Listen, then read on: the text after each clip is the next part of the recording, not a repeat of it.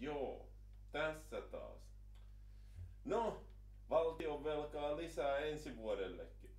Suurin piirtein keskustan kannatusprosentin verran. Se 10,8 miljardia euroa.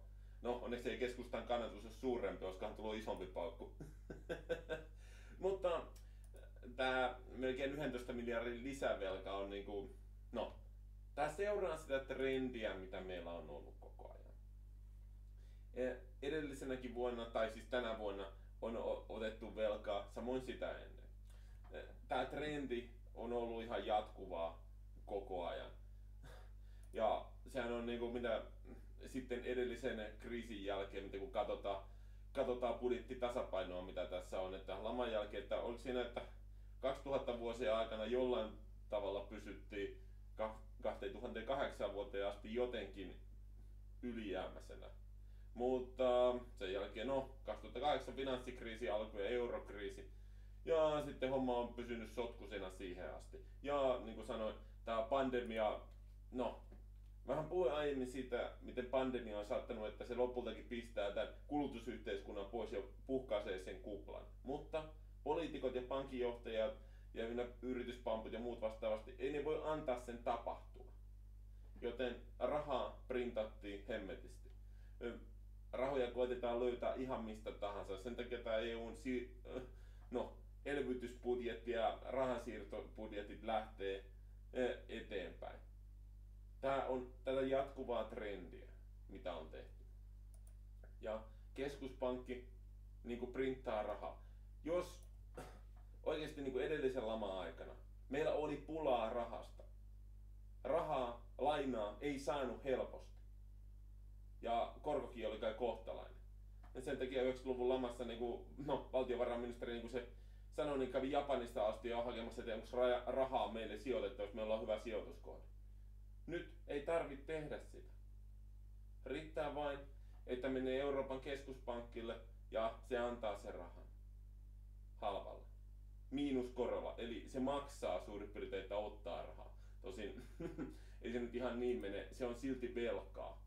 Ja no, tämä 11 prosenttia tai 11 miljardia lisää velkaa sinänsä siis piti sanomaan. Niin no, tämä on nyt helppo saada. Ja no, tämä vaan tulee jatkumaan. Yksikään hallitus ei tule no, kovinkaan helposti tekemään päätöksiä, jotka tekee sitä epäsuosittu. Katsokaa nyt kannatustilastoja.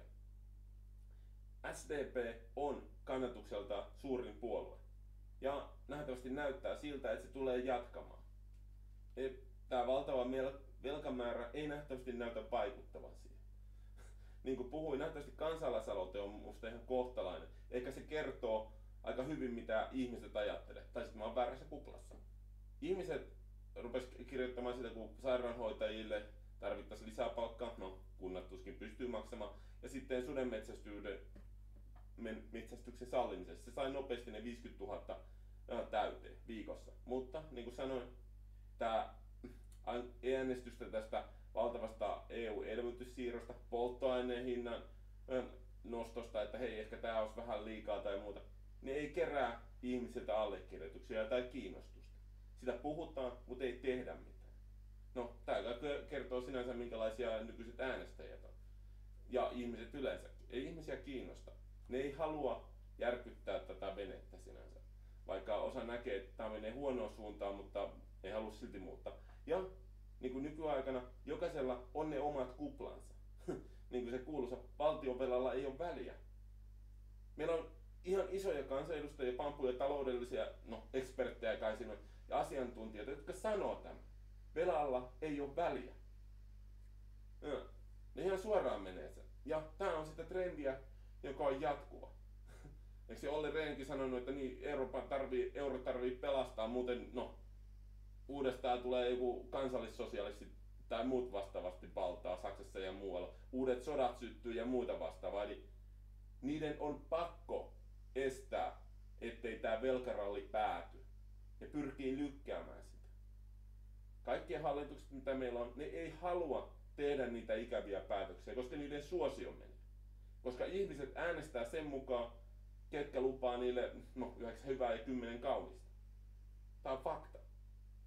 Hyvin epämiellyttävä fakta, koska ihmiset tekee epäloogisia päätöksiä. Katso vaikka, kuinka moni lähipiiristä polttaa tai juo liikaa tai syö liikaa tai liikkuu liian vähän. Joo, se selventää sitä asiaa aika paljon. Ja äänestymiskäyttäytymisessä ihmiset tekee. Eli no, hallitukset välttää epämieluisten päätösten tekemisen. Ja nyt saatiin sitä velkaa. Ja iso osa kansasta näyttää olevan tyytyväisiä siihen. Koska iso osa asiantuntijoista väittää, että velalla ei ole väliä. Ja se kai uppoo ihmisiä ja ihmiset haluaa uskoa sen. Tässä kaikki. Jatko.